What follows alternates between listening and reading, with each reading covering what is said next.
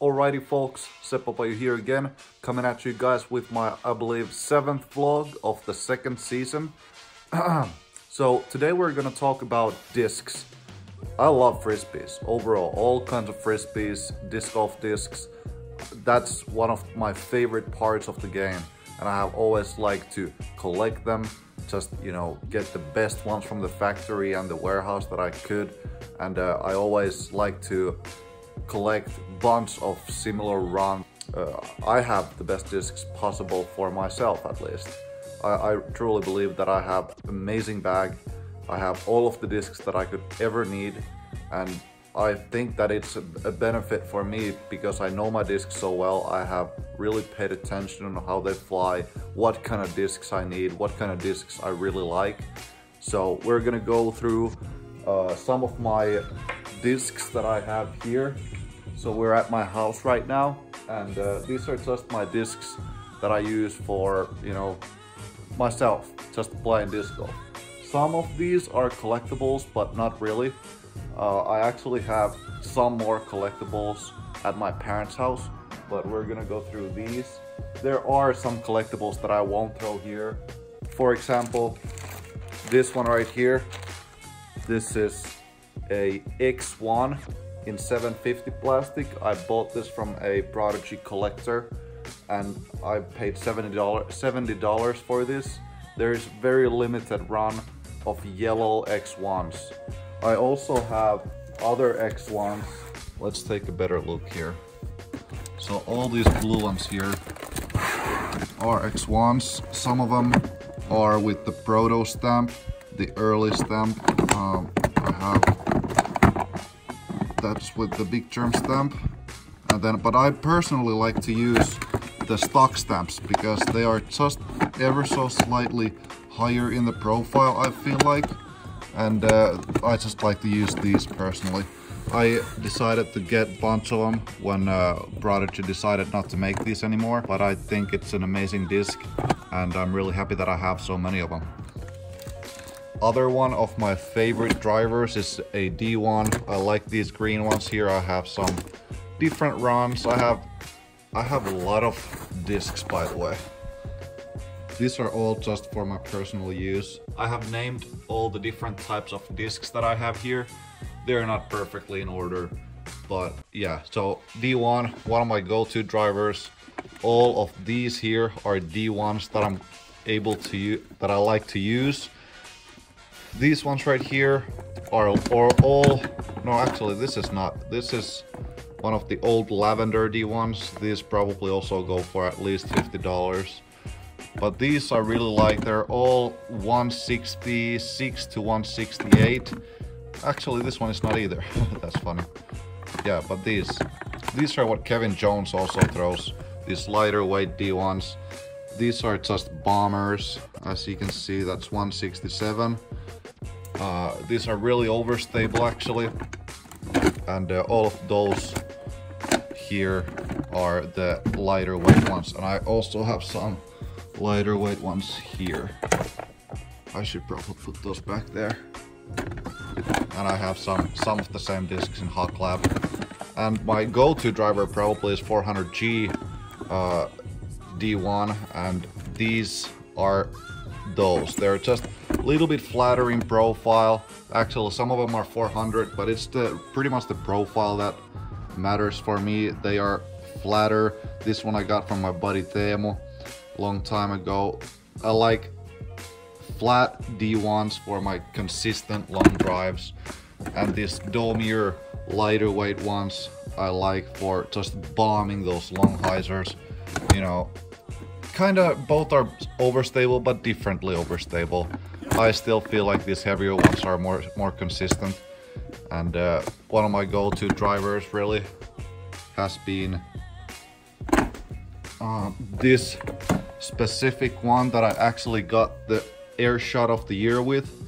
Uh, this is a really old silver lat D1. I've been using this for a long time, but it's still really nice and overstable. I can make it do all sorts of things. I only have one backup. Actually, I thought I, I thought I had more. I think I have one more somewhere, but whatever. Okay, let's keep going. This is gonna be a long video. So everybody knows I like D2s for those crazy bombs. My signature disc from when I won the second Finnish title, I got this beautiful 400 plastic Glimmer D2. These things just look insane, don't they? Oh my god, so beautiful. These fly so far, they're extremely domy. as you can see. They just glide forever. This is one of the three that came out with no stamp. I got all of them. I have two here and I gave one to Catrina Allen, a pink one. Those are beautiful. Um, my one of my go-to drivers, everybody knows the one that I threw at Konopiste, a red 400 GD2. These are all those. The same run as all these back here. So I have bunch of these beautiful 400G D2s as well. One of my backups, if I ever end up losing all of those, I have four of these first core D2s, core team. This is, oh my god, this is so beautiful. Perfect shape in my opinion for those distance shots. Uh, so we have a, Prodigy has a lot of discs. It's just that I can't use all of them, even though I like a lot of them. But uh, let's see what's here. These I actually just recently got from my parents' house. One of those, or two of those old flat overstable D1s, both max weight. This one is one of the first discs I actually ever got from Prodigy. I also threw my first ever Prodigy Ace with this disc. It was like 130 meters. These are actually X out D3s that turned out to be so overstable that we didn't sell these in Europe. But these, I actually should give some of these to Kevin Jones. These things are insane bombers. Wow, those things. I got so, like 10 of them just because, you know, if we, if I don't come across them, I want to have at least some of them because they are great discs even though they're too overstable for a D3. Um, some of my favorite discs by the look are these Glimmer um, X2s that I got. These are very early. These are 750. Oh my god. I love how this looks. These are really flat. I don't throw the X2 at the moment. I did at first when it came out, but these are just so beautiful. This one I threw for a while. It's really beautiful. I like how, how it has the ghost stamp, but it has some extra glimmer in the stamp. Oh yeah, X3, actually one of my favorite discs from Prodigy. I don't personally throw it a whole lot because I I throw harder than what this disc can possibly handle for, you know, being wanting to have a disc to fly consistently.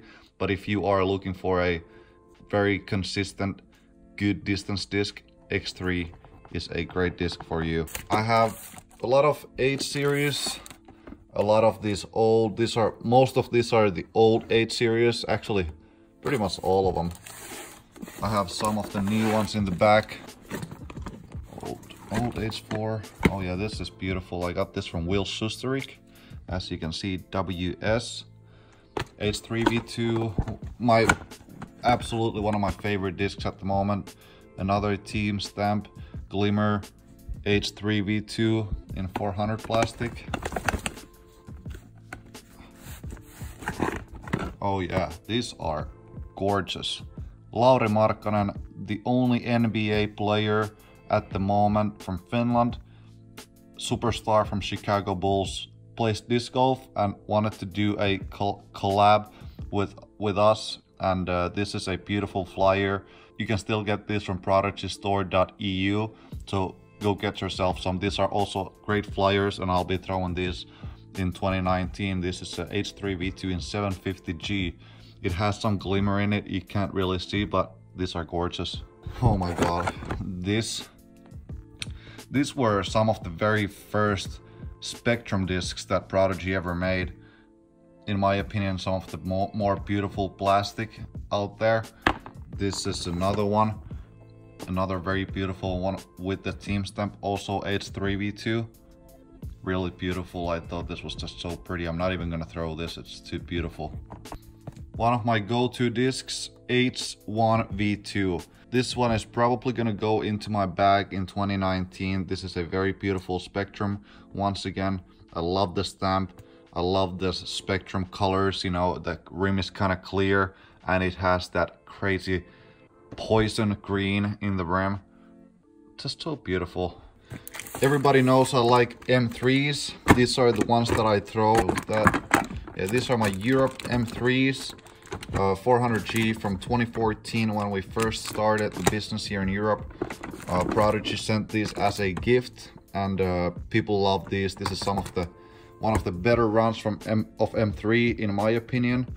They are just very consistent straight flyers and these are what people want.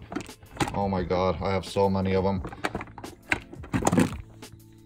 My signature M3 from 2014, winning the after winning the European Championships. Wow, those are beautiful. M3 is my favorite mid-range. Such a good disc. M1 is something that I do throw a lot. These are all protos. I like this run the most. These are really flat really flat and uh, overstable. Uh, this, these two I've been throwing a little bit. If you ever watched the Delaware Challenge, I threw the yellow M1 a lot on that on that course. I have a first run also. These are some 750s. These retros, this I like this stamp a lot. I don't throw this, but the, this stamp is cool. I have some M2s in the back here. I don't throw the M2, but if you know, then you know that these discs are valuable. These are the test run M2s in whatever the plastic is. This plastic never really came out. These are just even marked M3s since uh, the M2 was first marked as M3 and then it turned out to be M2 because it was more overstable than M3 should be what we have here we have these these discs i really don't throw but uh, if i ever end up throwing f3 again i have some of the i have really good f3s here a lot of them i have i do throw the f5 a lot these dyed ones are really awesome f7s i have a bunch of f7s here for rollers Okay, and then F1. I do throw the F1 a lot. I also have a nice stack of these. I've been giving these away a lot because Kevin Jones really wanted these, so I gave some of these for him. F2s, these are something that I actually bought a lot because I really find a good run that I like. It was the early runs and uh, this uh, mini stamp uh, F2s in 400 plastic these are all of those. These, these are all those early runs. Actually, this one is Ricky's uh, signature F2 from the early days. And these are the mini stamps. These are the, what I heard, these are the first uh, custom stamps that Prodigy ever did. So I have two of those. And uh, yeah, actually two of my old signature F3s. These are so good really beautiful and clear. I remember getting these at first. What a day. What a day that was. Okay, more M3s. All of those were M3s. All of these are M3s and those are also M3s. So as I said, I love the M3. Uh, another Lauri Markkanen Chicago Bulls M3. Nothing more to say. So beautiful these are these are really wanted. People really want these. These are the very first run 750 M3s. I do not throw these, but I'm not gonna sell those. I never really sell anything. If if something, I, I might trade some discs, but I, I don't even remember when I've sold disc. Sold a disc uh, last time. I do throw these. I've had one in my bag for a couple of years. These are the Team Europe. It has all of our team players names here in the stamp. I think it's really gorgeous. I have two of these. I've had that one in my bag for about two years now. So it takes a while for need to break one of these in, but I'm glad I have a couple of them. All the M3s really are quite similar, so I'm not really worried about, you know, having to lose some or, you know. Uh, another disc that I've collected some, just because, I don't really know why, but M3 in 350. All of these white ones here are with the 2014 Proto stamp. Uh, these are really nice flyers. When I'm older, probably I'll be throwing these. Not right now, I still like the 400 plastic a lot. This one is actually, yeah, number four. So this was like number four M3 in this plastic ever made. I, I have thrown it and I will throw it. Um, these are funny. These are from my local club championships from 2014. It has really old picture of me. I don't know why they chose that picture. And it has my old signature as well. But those are great. 300 plastic M3s. Okay, actually not all of these are M3s, but these are still these older M3s, and those are all PA1s actually. Everybody knows also that I do love the PA1 uh, bleeder. Got this from got this one from Germ. Thanks Germ. This one is going into my bag at, at one point. I do love the consistency of PA1. It, it flies really nice and overstable. These, oh my god, just got these last autumn.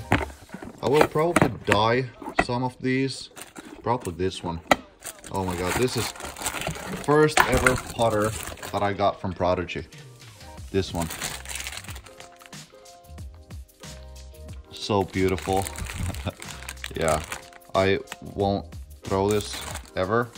It's a bleeder, as they say, so it has too much of the color. So you will have yellow fingers if you touch it. That's why it's in the bag.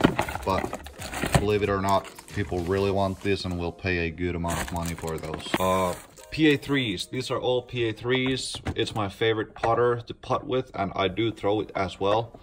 I have a lot of these with this stamp. Some of them are in my practice bag or in my bag. Um, but this is a really good run of PA3. I love it. It's a little bit straighter, I feel like, than the average ones. I also have a bunch of these team stamps. All kinds of stamps. These are my old putters that I used to putt with in 350G for a couple of years. Um, people really like these uh, old Europe stamps.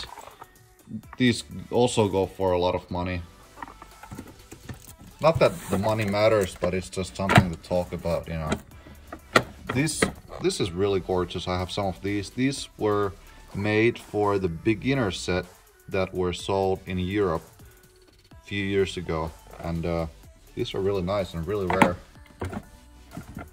Okay, I'm gonna be doing a giveaway of this disc here. It's a 300 plastic PA3, really beautiful. It has some swirls in it. It's a team stamp. I probably shouldn't be giving away a team stamp, but I don't think it matters. It's just one disc and it's for you guys. So comment what is your favorite Prodigy disc? If you haven't thrown Prodigy, what is a disc that you would like to try out? What have you heard is a good disc? You know, whatever you think is a disc that you would like to try, let's keep going. And then this last bin up here, those back there are all beat up PA3s. Um, so yeah, nothing special about those. And then I have some A2s. I, I do like the A2. These are really beautiful. Core stamp. Second, I believe this was the second core team stamp ever made. Or core team disc ever made. Probably the most overstable A2 ever. This was a first ever A2 ever made. Not that, I'm not sure if this specific one was the first ever made, but the first run, it was just to try out. I have never thrown it. I think it has some value. It's also really beautiful. Okay, then here's my practice guide. Let's just go through this. Okay, so what do I have here? This one actually doesn't belong here. Either does this, or this, or this, or that. Those are all from my actual bag, actually. What the heck? Okay. I have D1s. I have 400G D1s. I lost one. I had five. They have the beautiful Airborne Owl stamp. I love the stamps that Airborne is doing. These are really overstable D1s. I have a couple of these lighter weight D1s that I talked about. Uh, I I like to throw sidearms with these too, so that's why these are in my bag, practice bag, so I uh, can practice sidearms. Actually, some of the discs from here are missing, or they are um, in my car or in my bag at the moment. I I do switch my discs a lot, and uh, I have discs literally everywhere. I have discs seriously everywhere. Those discs, you will hear about those.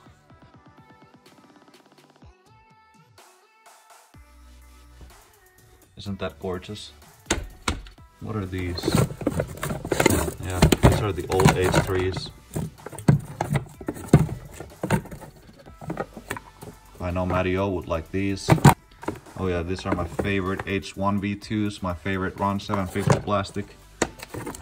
Oh yeah, and this. This, okay, actually I can't talk about it, but look at it. Beautiful. And also this disc, something I can't talk about.